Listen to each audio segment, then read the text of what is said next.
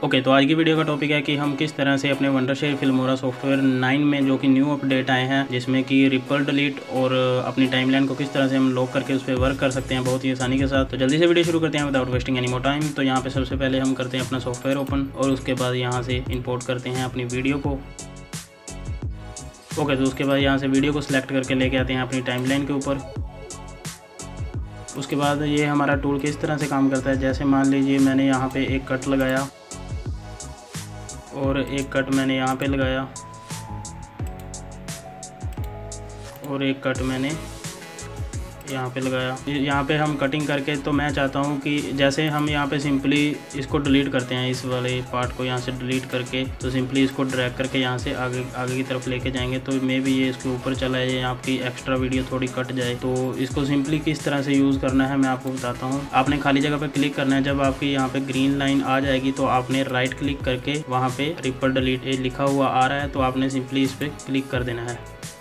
तो इस तरह से आप इसको यूज़ में ले सकते हैं बहुत ही आसानी के साथ। तो सिंपली आप यहाँ पे क्लिक करते हैं तो अपने कीबोर्ड से आपने दबाना है शिफ्ट प्लस डिलीट बटन तो भी हमारा इस तरह से कुछ काम करता है। उसके बाद सिंपली हमने क्या करना है, जैसे मान लो हम बहुत सारी, जैसे हम चाहते हैं कि यहाँ से ये वाला पार्ट डिलीट हो जाए और डिलीट भी हो जाए और साथ के साथ जो पीछे की ये क्लिप है सारी, ये वाली अपने आप यहाँ पे आ जाए। तो उसके लिए हमें क्या करना होगा, यहाँ पे जाके हमने राइट क्लिक करना है तो यहाँ पे रिपल डिलीट और वो वाला हिस्सा हमारा डिलीट हो गया और पीछे की जितनी भी क्लिप हैं वो आगे की तरफ़ आ गई हैं, आप यहाँ पे देख सकते हैं। तो जैसे सिंपली मैंने यहाँ पे, वैसे सिंपली इसको डिलीट करते हैं, जैसे हम इसको सिंपली डिलीट करते हैं तो ये हमारा गैप रह जाता है। तो इसके लिए अगर हम इस पर राइट क्लिक करके यहाँ पर रिपर डिलीट में जाएँगे तो ये हमारा जो पीछे की क्लिप्स हैं, वो आगे की तरफ़ आ जाएँगी। अगर मान लो यहाँ से इसको सिलेक्ट करके सिर्फ़ आप अपने शॉर्टकट की दबाते हैं, अपने कीबोर्ड से शिफ्ट प्लस डिलीट दबाते हैं तो भी इसका ये शॉर्टकट है, इस तरह से काम करेगा। तो उसके बाद मैं इसको कंट्रोल जेड दबा के अंडू कर देता हूँ एक बार।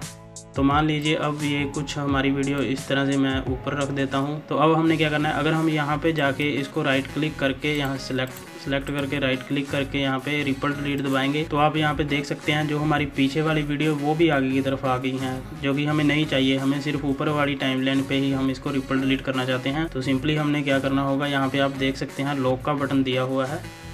तो आप सिंपली ये वाली नीचे वाली टाइमलाइन को यहाँ से लॉक कर सकते हैं। अब आप ऊपर वाली वीडियो को कुछ भी करेंगे तो ये वाली वीडियो आपकी स्टिल वहीं पे फ्रीज़ हो गई हैं, ये बिल्कुल भी नहीं हिलेंगी अपनी जगह से। तो अब यहाँ पे सेलेक्ट करके जैसे मैं रिपोर्ट लीड दबाता हूँ तो अब आप आसानी के साथ यहाँ से इस पर वर्क कर सकते हैं दूसरे वाली टाइमलाइन पे, क्योंकि हमारी नीचे वाली जो टाइमलाइन है वो लॉक हो चुकी है। यहाँ से आप लॉक कर सकते हैं। ऑडियो में भी हम इसी तरह से वर्क कर सकते हैं। जैसे हमने यहाँ पे ये वाला ऑडियो हमें नहीं चाहिए तो हम यहाँ पे सिंपली इसके ऊपर राइट क्लिक करेंगे और यहाँ पे रिपल डिलीट तो हमारा वो वाला पोर्शन चला गया और बीच में गैप भी नहीं रहा। अगर हम सिंपली उसको यहाँ से सिंपली डिलीट करते हैं तो बीच में गैप रह जाएगा और अगर आप इधर से इसको उठा के इधर लेके आएँगे मे भी इसके ऊपर चला जाए। आप देख सकते हैं कि पूरा हम राइट वे में इसको नहीं एडिट कर सकते। तो इसीलिए रिपल डिलीट टूल का यूज़ होता है। तो ये जो दो न्यू फीचर थे, वो मैंने आपको बता दिए हैं। तो सिंपली अगर हम बात करते हैं, यहाँ पे अपनी हम वीडियो को एडिट करना चाहते हैं और हम चाहते हैं कि हमारा ऑडियो स्टिल एक ही जगह पे रहे, क्योंकि हम कई बार क्या होता है कि हम एडिट करते हैं तो हमारा ऑडियो जो है आगे पीछे हो जाता है। लाइक like जैसे हमने यहाँ पे कट किया।